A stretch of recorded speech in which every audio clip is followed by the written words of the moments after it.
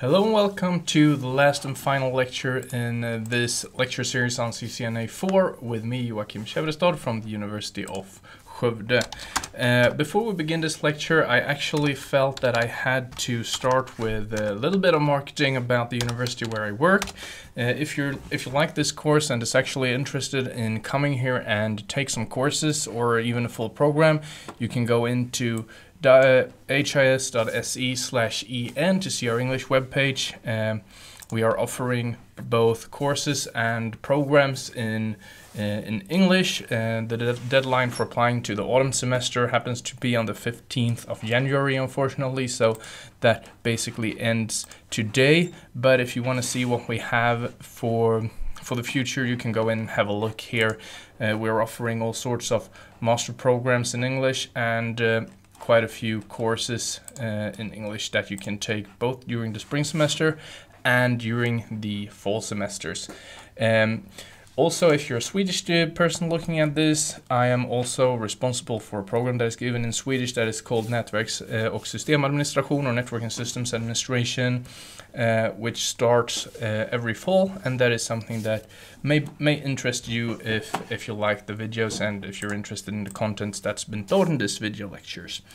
Uh, so enough said about marketing. Uh, what we're gonna do now is just sum this course up with a quick lesson on troubleshooting. Uh, where we will uh, essentially talk about uh, documentation and troubleshooting, and then we will try to do a uh, a packet tracer activity where you will watch me troubleshoot again. There's been some of that throughout this lecture, so I will not be blaming anyone who just decides to jump away and not watch that, but in the true spirit of context-based microtraining, I am going to go through it anyway. Uh, so we'll start with documentation. And well it goes without saying but documentation is key. It's important to keep track of your system uh, otherwise you won't know what is going on. Uh, unfortunately all too few, uh, few system administrators or network admins document well enough. Uh, actually had a nice encounter when we were at uh, at a visit with uh, with Ericsson, um, which is a large provider of networking equipment. And they said that one of the strengths uh, about what we do here in Skövde is that we learn students to document properly, and that is something that is really liked uh, out in the real world, even if the people in the real world tend to forget about it rather quickly. So if you want to impress, do good documentation. Uh, and documentation would typically include physical and logical topology maps that shows uh, the devices in your networks, both on a physical map and on a logical map. Uh, I'm not going to go through and tell you what they are because you should know that by now. Also, you should have listings of devices and their configuration. So you want to know what servers, networking gear, and so on and so forth that are in your network and their different rules. Uh, you may also want to include configuration files in your documentation because if you look at a configuration file uh, of a Cisco device, uh, it actually is quite a good documentation in itself. However, you should uh, you should perhaps be a little bit aware about the security issues that that may bring in, but it depends on how you distribute your documentation. Uh, also, you may want to have a network baseline uh, and a knowledge base where you uh, where you store stuff about your network, the usage, support tickets, and so on and so forth. So let's dig into network baselining and what that is. Well, a network baseline basically determines the personality of a network under normal condition. So what you want to do when you do a baseline is that you want to know how your network performs uh, and what uh, errors that are most common in your network uh, when it's least used, when it is most used, where it is most used, uh, and so on and so forth. It's basically a tool to keep track of the health of your network, uh, where it may need to be extended, where you need more bandwidth, so on and so forth. So how would you go about do a baselining? Well, there is a six-step I think, or three-step process. Let's see in the next few slides. But what you want to do first is determine what data to collect. So there are actually a lot of data points that you could collect when you talk about baselining. Uh, and well, collecting too few data points will give you too few data points and too many may be overwhelming.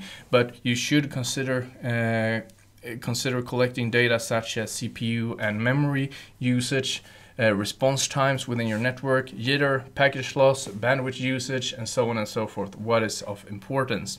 And what you want to see here is basically, are there any machines that are choking? Uh, are there any machines that are underutilized? Could I cable, uh, recable my network a little bit? So on and so forth. Uh, next, you want to identify devices and ports of interest. So you want to do your baseline and you want to cover critical servers, core routers, switches, maybe access points, and so on and so forth. Maybe you're not too interested about the performance of clients because if your clients are choking, then you're gonna have bigger problems. Uh, and next, you need to determine the baseline duration. You can just cannot just take uh, 10 random minutes from uh, from a Saturday and do a baseline because it will say that everything is good and okay unless you're some company that works a lot during uh, during Saturdays.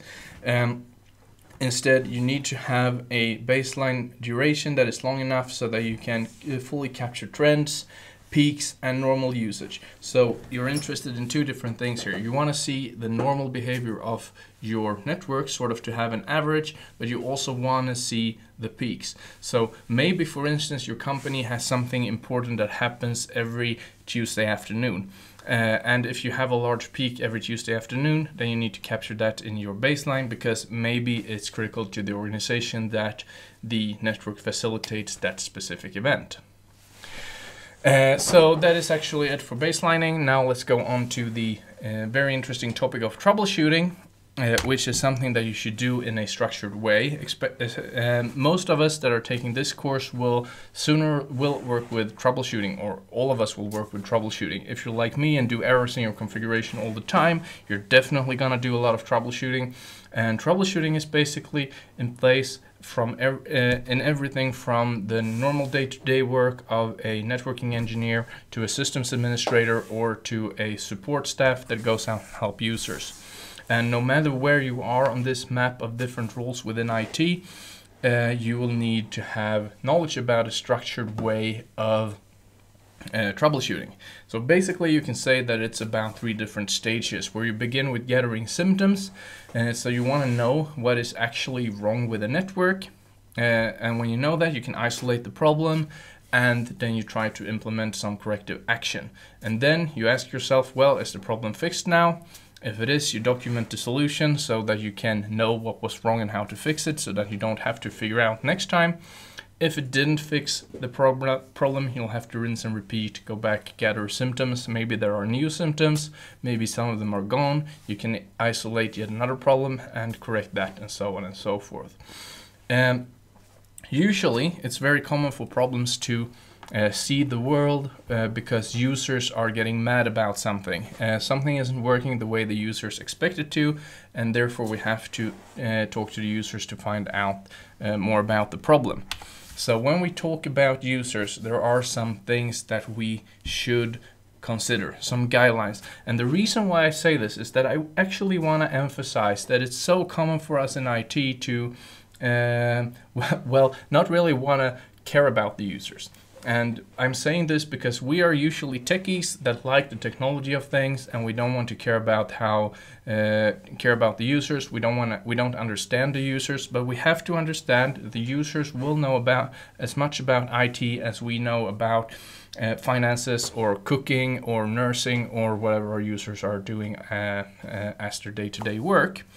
Um, uh, strange thing is that we actually try to, we actually think in our mind that users are interested in uh, in IT and wants to learn, but I think it's silly for us to uh, to think that the users are interested in IT on a any layer, level higher than that it should work.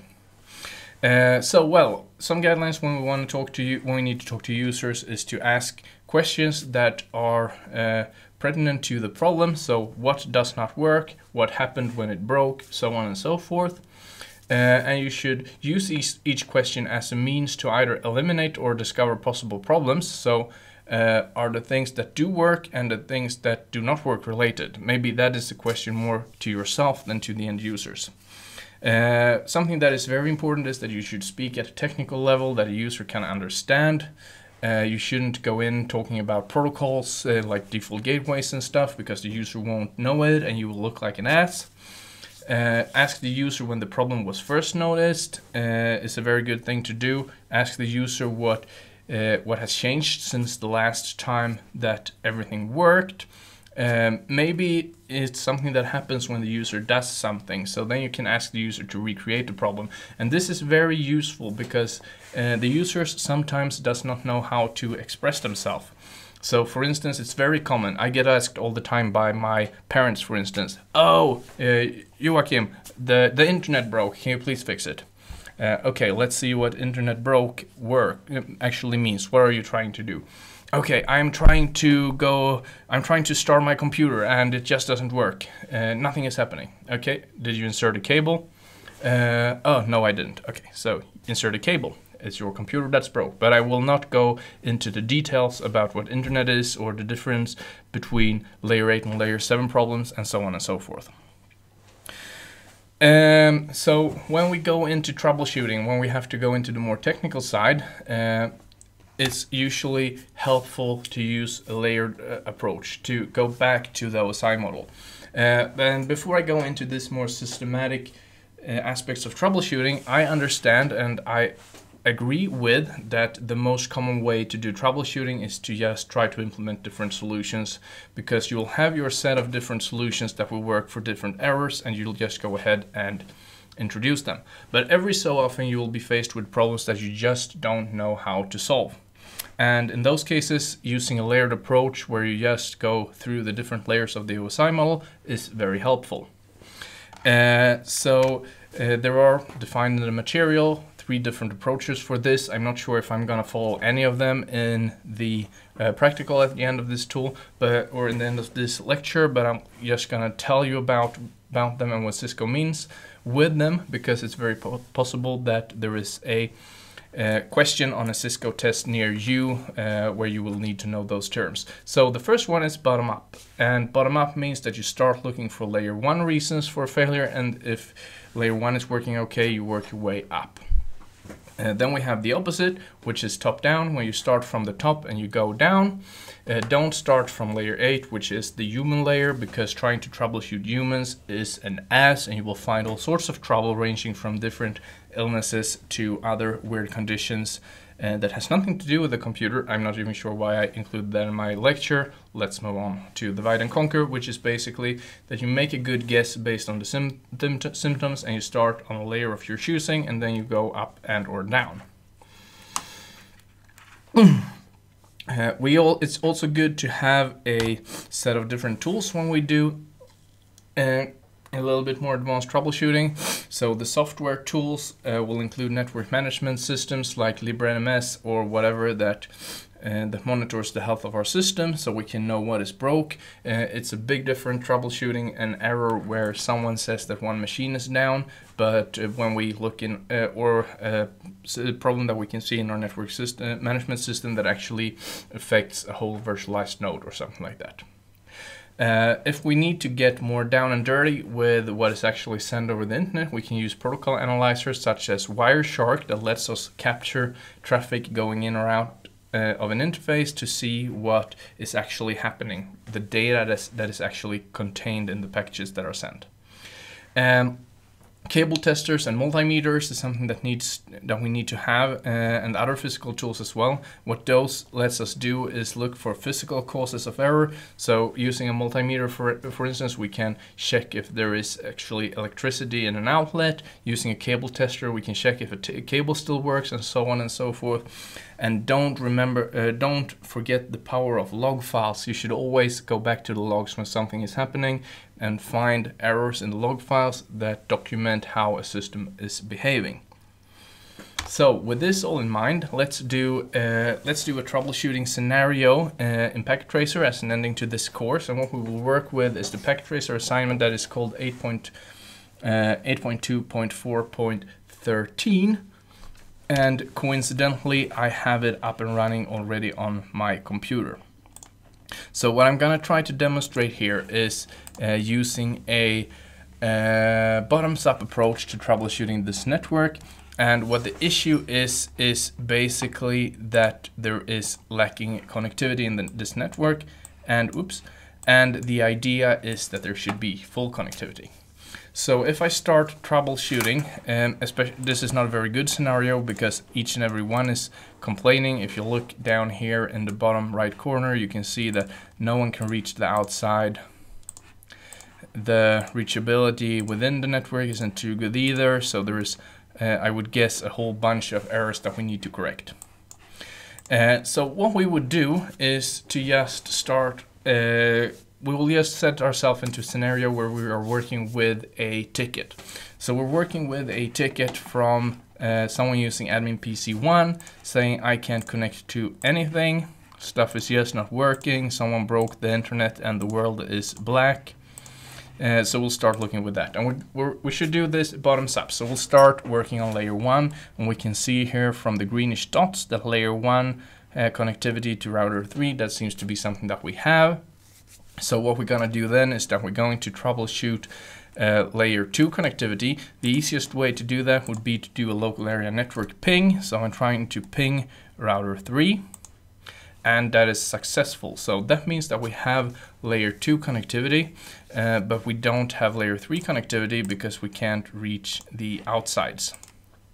So what would we check then? Maybe we can start looking at layer 3 and look at different causes. So maybe the IP configuration on the admin PC is wrong. So let's start looking here and we take up the desktop and the IP configuration. This is an IPv6 device, which is called uh, 201 db8 cafe 2 colon colon 2. That seems to be a working uh, working address. It has a link local address and it has a IPv6 gateway that is FE80 colon colon 3. So I would say that the configuration on this machine could actually work, but let's have a look on router 3 just to verify. So what we will do here is go into the CLI of router 3 and we'll go enable and we will go uh, show running config and we'll start by looking at interface gigabit ethernet 00. Uh, gigabit Ethernet 00, 0. it should have a link local address of FE80 colon colon 3. That does actually mean that this looks kind of okay. Uh, what would be a nice, uh, nice and interesting next step to look at would be to see if admin PC1 and admin PC2 can ping each other.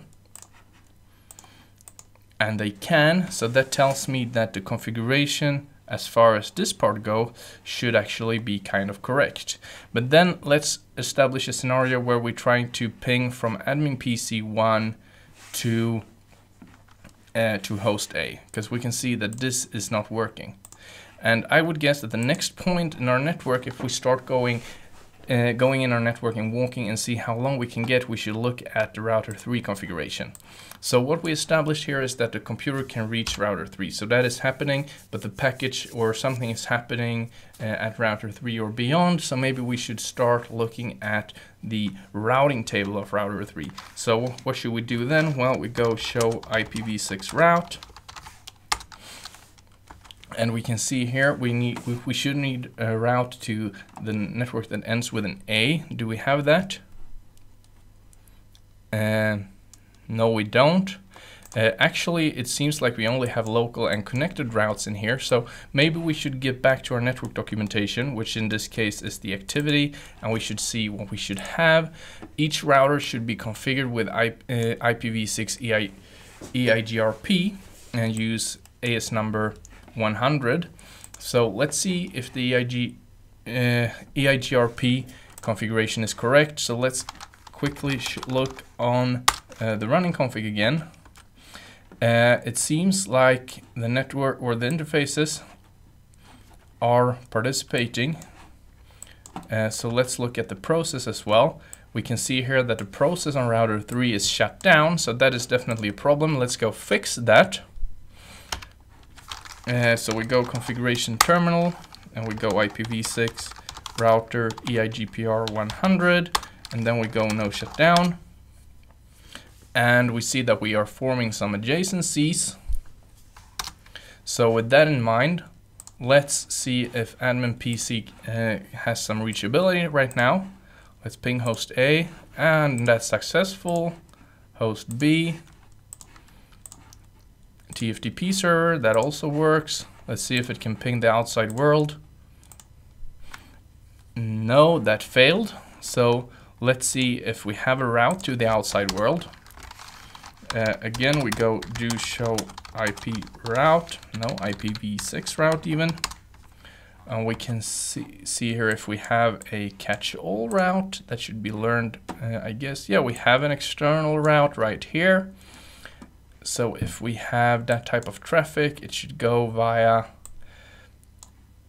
uh, via FE80 colon colon 2. What interface would that be?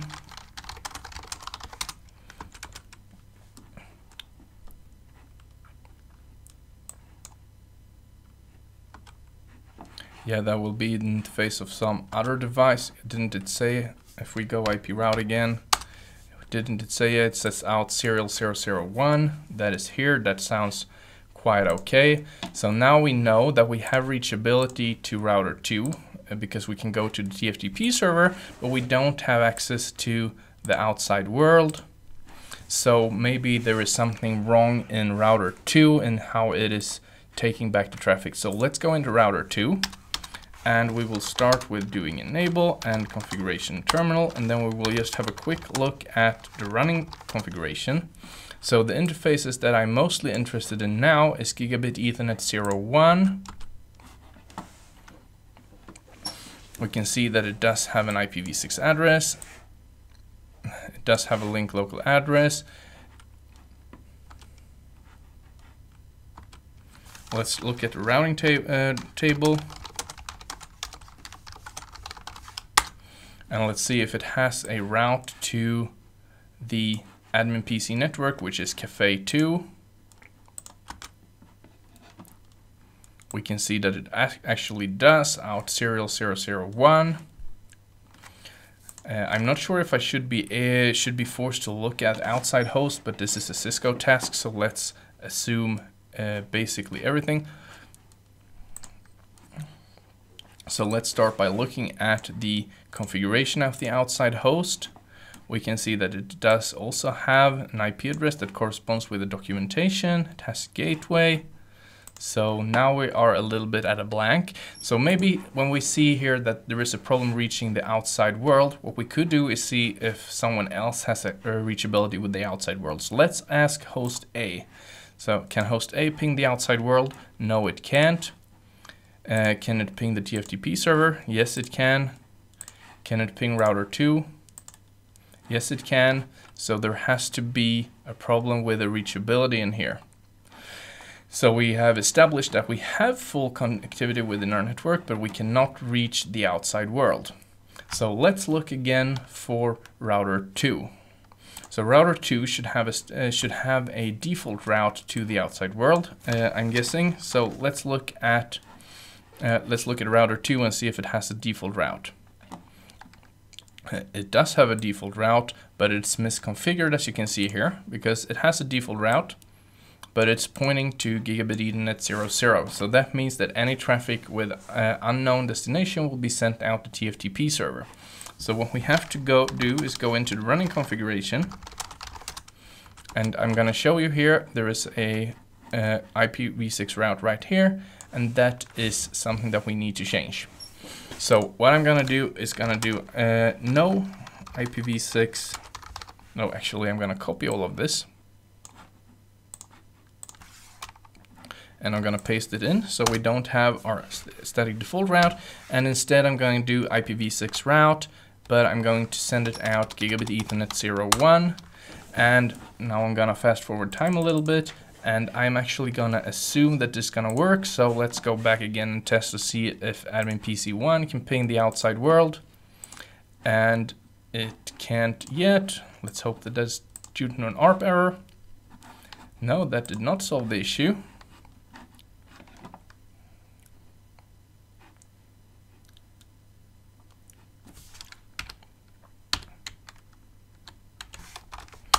So let's add, let's add back the uh, IPv6 address that was at the very end. I'm guessing that's going to be this network right here.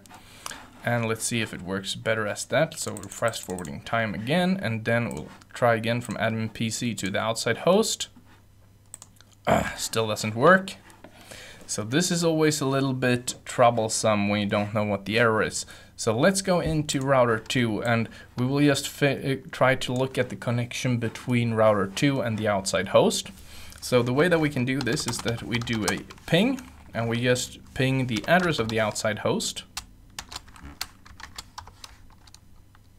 So this is a very stressful situation for me because I'm expecting that some of you already found the solution. Uh, now it seems like router 2 cannot access the outside host whatsoever. Let's try again. Something that we could do that is actually a little bit cheating would be to remove this one and we go into simulation mode because now I'm sort of given up and want to see what is wrong. Uh, and we just simulate a package. So we'll see where it dies. So we'll do auto capture.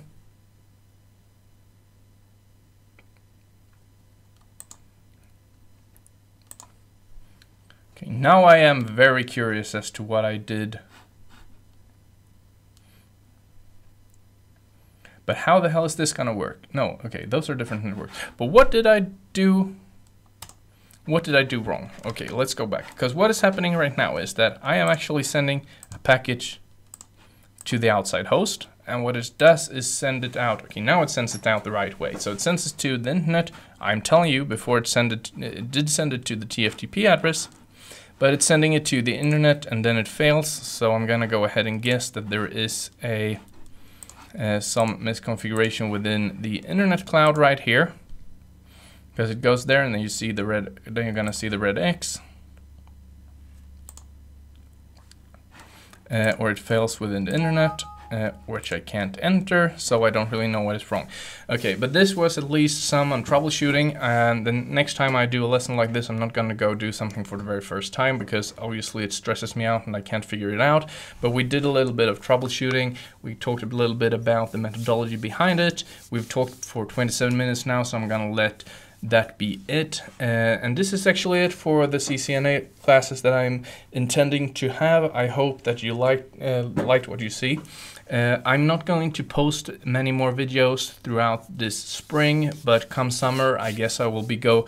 Uh, I actually have some courses for our Master in Information Security or Privacy Information and Cybersecurity to develop. So parts of that will be on video. Uh, I will also do some CCNA material, CCNA one material for that.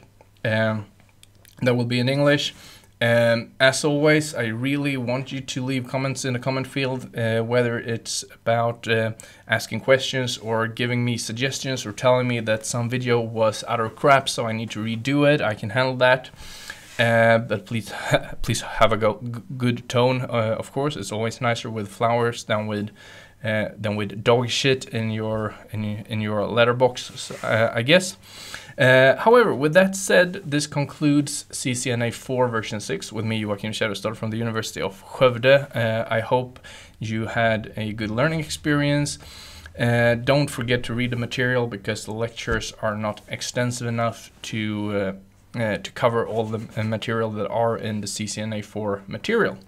Uh, with that said, don't hesitate to contact me if you need to. Leave comments in the comment field and I will try to respond.